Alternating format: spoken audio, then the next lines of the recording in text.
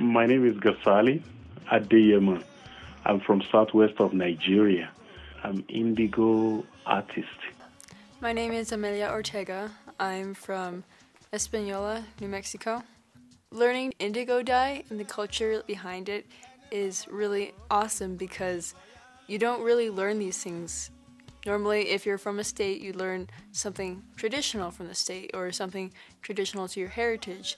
And I think it's important to learn about other cultures and meanings and to deepen understanding of the world around us. And I moved to Santa Fe in 1996, and I've been living here almost 20 years. I choose Santa Fe because when I first moved here, I looked, oh wow, Santa Fe to me is like center of craft and culture. And a lot of people willing to learn from me. And also I love to share my my tradition to other different culture in the globally in the Mexico as well. It's not only this culture from Nigeria, there's something that each culture shares a little bit with another, and one of those things is indigo. Indigo is very powerful because many years ago, indigo is not only dyed with the fabric, indigo was a healing and it's a color of medicine. And also, indigo is a color of love. One thing I've noticed a lot is with the indigo, it's a very smooth and calm work, and you're really interacting with your breath and your hand, and you're so in tune with this piece. And what I see so much around me these days is not only kids my own age, but even adults. Like they're not focused on on something that speaks to them or that gives them something back. We're all hooked in on like the media, which is kind of scary. It's a huge power, and what I think the grab is is like an instant gratification because it's right there and you can have it right away and you don't even have to try. And one thing I really like about doing art as an artist is that you put time into this. It's not you do it right away and there it is. It's work, it's a challenge. And when you work hard on something, you get something out of it. Working with Amelia, I find it very special.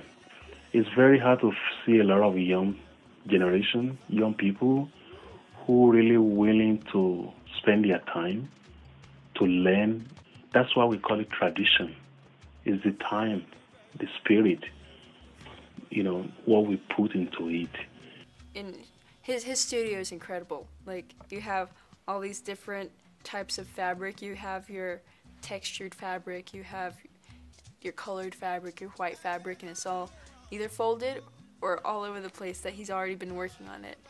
And then he has his work around and then work that he's gotten from other artists. So it's this very calm space with you're doing indigo surrounded by indigo.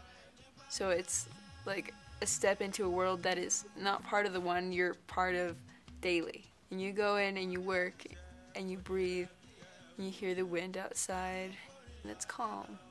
And you move the wax and each breath you take, you're putting something into it. It's so important to learn a craft because right now there's so many things that are not traditional and that are just not quite as special. And sometimes I think that what's traditional gets lost.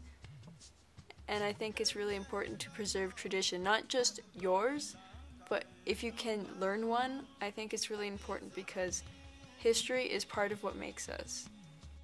Working with Amelia, it make me feel like wow. Even I remember when she doesn't hear from me, she contact me like Gasali. Are we gonna work again sometime this week?